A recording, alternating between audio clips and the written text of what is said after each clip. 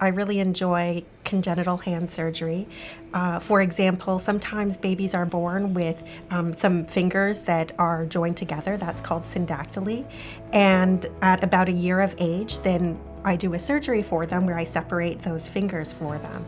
Um, and that's just before they are at the age where they it's important for them to begin to learn how to use their hands and interact using their hands with the world around them for grasping and grabbing.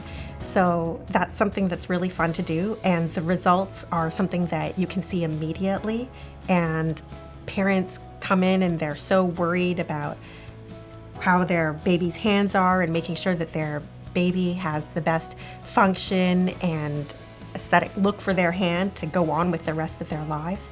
So that's something that's really fun for me to do. And babies heal so well and they don't need hand therapy. So that makes it really fun too.